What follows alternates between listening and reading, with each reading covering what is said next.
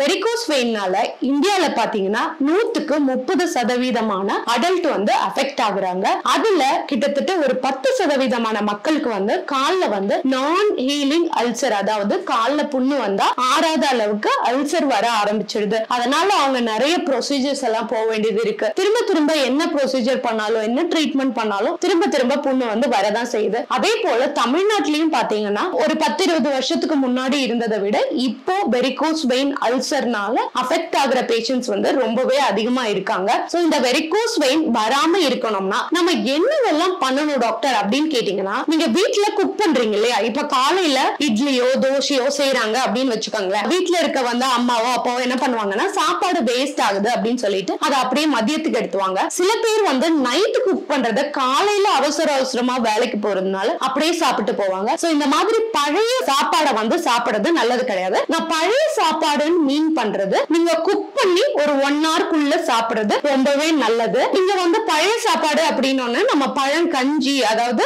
நீங்க சாப்பாடுல தண்ணி ஊத்தி வச்சு காலையில மோர்ல ஊத்தி குடிச்சிட்டு போறீங்க இல்லையா? அதை வந்து நான் மீன் பண்ண கிடையாது. தோசையோ சப்பாத்தியோ இல்ல இட்லியோ நார்மல் சாதத்தையோ வந்து நீங்க வந்து செஞ்சு வச்சுட்டு அப்புறமா மத்தியானத்துக்கு சூடு பண்ணி சாப்பிடுறது. இல்ல வந்து காலையிலே குக் பண்ணிட்டு மத்தியானத்துக்கு டிஃபன்ல போட்டு எடுத்துட்டு போவோம் இல்லையா? இந்த மாதிரி ஃபுட் இன்டேக் வந்து உடம்புக்கு நல்லதே கிடையாது. ஏன்னா ஒரு ஃபுட் குக் பண்ணி முடிச்சோடனே நம்ம இவ்வளவு நிமிஷத்துக்குள்ள இத்தனை நாளிகைக்குள்ள நம்ம சாப்பிடணும் அப்படிங்கறத நம்மளோட முன்னோர்கள் வந்து ஆல்ரெடி வகுத்து வச்சிருக்காங்க. சோ இந்த வெரிகோஸ் வெயின்னால அதிகமா அஃபெக்ட் ஆகுறவங்க பாத்தீங்கன்னா மளிகை கடையில வேலை செய்யறவங்க மளிகை கடை வச்சிருக்கவங்க அதுக்கப்புறமா டீ கடையில வேலை செய்யறவங்க ஹோட்டல்ல வேலை செய்யறவங்க பிளஸ் வந்து பாத்தீங்கன்னா செக்யூரிட்டியா வேலை செய்யறவங்க டீச்சர்ஸ் இந்த மாதிரி லாங் ஸ்டாண்டிங் ஒர்க் யாரெல்லாம் பண்றாங்களோ அவங்க எல்லாமே வந்து வெரிகோஸ் வெயின்னால அஃபெக்ட் ஆகுறாங்க. ஏன் அப்படின்னு பாத்தீங்கன்னா நம்மளோட கெண்டைக்கால் மசில் இருக்கு இல்லையா? நம்ம கீழே காஃப் மசில்ஸ் சொல்லுவோம் இல்லையா? அந்த காஃப் மசில்ஸ் வந்து நம்மளோட வெயின்ஸ் எல்லாத்தையுமே டைட்டா ஹோல்டு பண்ணிக்கும். அந்த காஃப் மசில்ஸ்க்கு நீங்க அதிகமா நின்று ஸ்ட்ரெயின் கொடுக்க கொடுக்க அந்த மசில் வந்து வீக் ஆக ஆரம்பிக்குது. அதனால என்ன ஆகும்னா இந்த ரத்த குழாய் கொஞ்சம் கொஞ்சமா விரிய ஆரம்பிக்கும். ரத்த குழாய் ஒன்ஸ் விரிஞ்சதுக்கு அப்புறம் என்ன ஆகும்னா அதுக்குள்ள இருக்கக்கூடிய வேல்வ் அதாவது ரத்தத்தை இப்படி மேல் நோக்கி அனுப்பக்கூடிய வேல்வ் என்ன ஆகும்னா அப்படியே லூசா தொழ தொழன்னு தொங்கிடும். இது மேல அனுப்புனாலும் ஒரு ஸ்பேஸ் வந்துடும். அதனால திரும்ப ரத்தம் வந்து காலுக்கு கீழே கெட்ட ரத்தம் வந்துகிட்டே இருக்கிற மாதிரி இருக்கும். சோ கெட்ட ரத்தம் உடம்புக்கு போய் நல்லா சுத்திகரிச்சு காலுக்கு திரும்ப சப்ளை ஆகணும். ஆனா இந்த வெரிகோஸ் வெயின் இருக்கவங்களுக்கு என்ன ஆகும் அப்படின்னு பாத்தீங்கன்னா அவங்களுக்கு அந்த வெயின் விரிஞ்சிருக்கனால அந்த ரத்தம் வந்து மேல இதயத்துக்கே போகாது. அதனால சுத்திகரிக்கப்படாது. சோ மேல போகுது திரும்ப கீழே வருது. மேல போகுது கொஞ்ச தூரம் போனோம்னா திரும்ப கீழே வருது. இந்த ஆக்ஷன் வந்து ரிப்பீட்டடா நடந்துட்டே இருக்கும். அதுலயும் சில பேத்துக்கு வந்து அலர்ஜி இருக்கு. அதாவது அலர்ஜினா டாக்டர் எனக்கு வந்து சாப்பாடுக்கு அலர்ஜி கிடையாது. பால் குடிச்சு அலர்ஜி கிடையாது. முட்டை சாப்பிட்டா அலர்ஜி கிடையாது. எனக்கு மீன் சாப்பிட்டா அலர்ஜி கிடையாது. இது மட்டும் அலர்ஜி கிடையாது. நமக்கே தெரியாம நம்ம உடம்புல இப்போ நீங்க ஃபார் எக்ஸாம்பிள் குளூட்டன் வந்து சில பேத்துக்கு நிறைய பேத்துக்கு வந்து அலர்ஜிக்கா இருக்கலாம். குளூட்டன்னா என்ன அப்படின்னீங்கன்னா மைதாவுடைய ஒரு எக்ஸ்ட்ராக்ட் அப்படின்னு வச்சுக்காங்களேன். மைதாவிலையும் கோதுமையிலையும் இருக்கக்கூடிய ஒரு பொருள் தான் குளூட்டன் சோ அதிகப்படியா இந்த பொருட்கள் எல்லாம் எடுத்துக்கும் போது நம்ம பாடிக்குள்ள ஒரு அலர்ஜி உருவாகும். ஈவன் நான் நிறைய பேர்ல பார்த்ததுண்டு இந்த வேர்க்கடலை சாப்பிடுறாங்க இல்லையா? சோ நார்மலா இந்த கடைகள்ல நிக்கிறவங்க வேர்க்கடலை சும்மா இருக்கும்போது வாயில போட்டுட்டே இருப்பாங்க. சம்டைம் வேர்க்கடலை தோட்டம் வச்சிருக்கவங்க இருப்பாங்க. சோ அவங்க என்ன பண்ணுவாங்கன்னா இந்த வேர்க்கடலை சும்மா இருக்கே அப்படின்னு சொல்லிட்டு வாயில போட்டு அப்படியே சூ பண்ணிட்டே இருக்காங்க. அவங்களுக்கு வந்து பீனட் அலர்ஜி வரதுக்கான சான்சஸ் வந்து நிறையவே இருக்கு.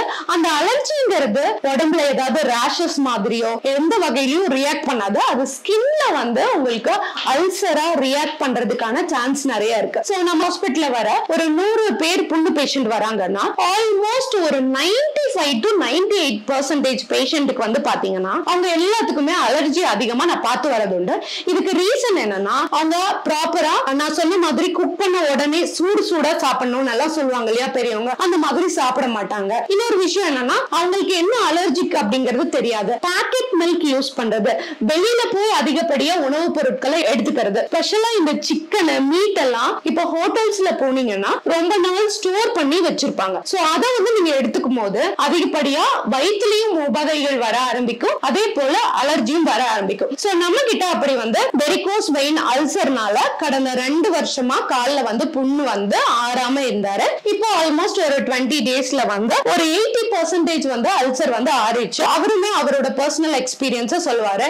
இவ்வளவு நாள் எப்படி இருந்தது? இங்க வந்ததுக்கு அப்புறம் ட்ரீட்மெண்ட்ஸ் எல்லாமே எடுத்ததுக்கு அப்புறம் எப்படி இருக்குன்னு சொல்லிட்டு. சோ வெரிகோஸ் வெயின் இருக்கவங்க ப்ராப்பரா எக்ஸசைஸ் பண்ணணும் காஃப் மசில் ஸ்ட்ரென்தன் பண்ணணும் டயட்டை ஃபர்ஸ்ட் ஃபோக்கஸ் பண்ணணும் ரொம்ப முக்கியங்க. சோ நிறைய பேர் இதுக்கு டிப்ஸ் சொல்லுங்க அப்படின்னு சொல்லுவீங்க புண்ணு வந்ததுக்கு அப்புறம் புண்ணு டாக்டர்ஸ் கிட்ட போய் ப்ராப்பரா ஆத்துறது தவிர வேற எந்த வகையிலும் டிப்ஸ் சொல்ல முடியாது. நீங்க புண்ணு ப்ராப்பரா கிளீனா தொடச்சு வச்சீங்கன்னா சில புண்ணு வந்து ஆட்டோமேட்டிக்கா நார்மலா ஆறி வந்துடும். அதை தாண்டி அதுல பாக்டீரியல் இன்ஃபெக்ஷன் வந்துருச்சு. பசு வந்துருச்சு. செகண்டரி பாக்டீரியல் இன்ஃபெக்ஷன் எல்லாம் வர ஆரம்பிக்குதுன்னு போது அந்த புண்ணு அந்த பாக்டீரியா சாப்பிட்டு சாப்பிட்டு பெருசாகுமே ஒழிய அது வந்து கம்ப்ளீட்டா ரெக்கவரி பண்றது வீட்ல இருந்து பண்ண முடியாத ஒரு விஷயம் தாங்க அதனால ப்ராப்பரா ஒரு மெடிக்கல் அட்வைஸ் எடுத்துட்டு ட்ரீட்மெண்ட் எடுத்து கம்ப்ளீட்டா ஹீல் பண்றது தான் நல்லது. சோ இப்போ ஐயாவோட எக்ஸ்பீரியன்ஸும் கேட்டுக்கங்க. என் பேர் விக்ரம் சார். சொந்த ஊர் ராமநாதபுரம் மாவட்டம் புதுமடம் அதாவது எனக்கு வந்து வெர்கூஸ் வந்து கிட்டத்தட்ட ஒரு ரெண்டு வருஷமாக நான் வந்து அவதிப்பட்டு இருந்தேன் இது வந்து நான் போய் காணாத ஆஸ்பத்திரிலாம் போய் பார்த்து நான் வந்து என்னோட ட்ரீட்மெண்ட் பார்த்தேன். ஒன்றும் சரிப்பட்டு வரல. இப்பொழுது ஏஎல் ஆரோக்கிய மருத்துவமனைக்கு வந்து என்னுடைய ட்ரீட்மெண்ட்டை வந்து ஆரம்பித்தேன். இப்பொழுது இந்த ஆரோக்கிய மருத்துவமனையில் வந்து என்னுடைய சிகிச்சை வந்து நல்ல பலனாக இருக்கிறது. ஆனால் புண்ணும் ஆறி வந்திருக்கிறது நூற்றுக்கு எண்பத்தஞ்சு தொண்ணூறு பர்சன்ட் ஆறி வந்துருச்சு இன்னும் பத்து பர்சன்ட் இருக்கு. இன்னும் வந்து நான் வந்து இருபத்தி நாலு நாளுக்குள்ள இந்த அளவுக்கு வந்து குணப்படுத்துகிறாங்கனாக்கா அவளை வந்து பாராட்டக்கூடிய ஒரு விஷயம் தான். நல்லபடியாக வந்து மருத்துவம் செய்கிறாங்க. உபசாரியெல்லாம் நல்லா நல்ல அருமையாக இருக்கிறது இங்கே உள்ள ஹாஸ்பிட்டலில் வந்து புட்டு வந்து வந்து பழங்கள் கொடுக்குறாங்க. சாப்பாடு வந்து கரெக்டான வந்து முறையில் வந்து புட்டு ஐட்டம் கொடுக்குறாங்க. அதனால வந்து அளவான புட்டு தான். அதாவது வந்து உடம்புல எந்த ஒரு வியாதியும் வந்து அட்டாக் பண்ணாத அளவுக்கு நல்ல முறையில சாப்பாடுலாம் கொடுத்து கனிமான முறையில் வந்து உபசாரம் இருந்து செய்கிறாங்க. இந்த மக்கள் வந்து இந்த மாதிரி நோய்கள் அவசரப்படுறவர்கள் இந்த மருத்துவமனையை வந்து நாடி உங்களுடைய கஷ்டங்களை வந்து தீர்த்துக்கங்க. உங்களுடைய வியாதிகளை வந்து குணப்படுத்திக்கங்க சொல்லி உங்களை தான்புடன் கேட்டுக்கொள்கின்றேன்.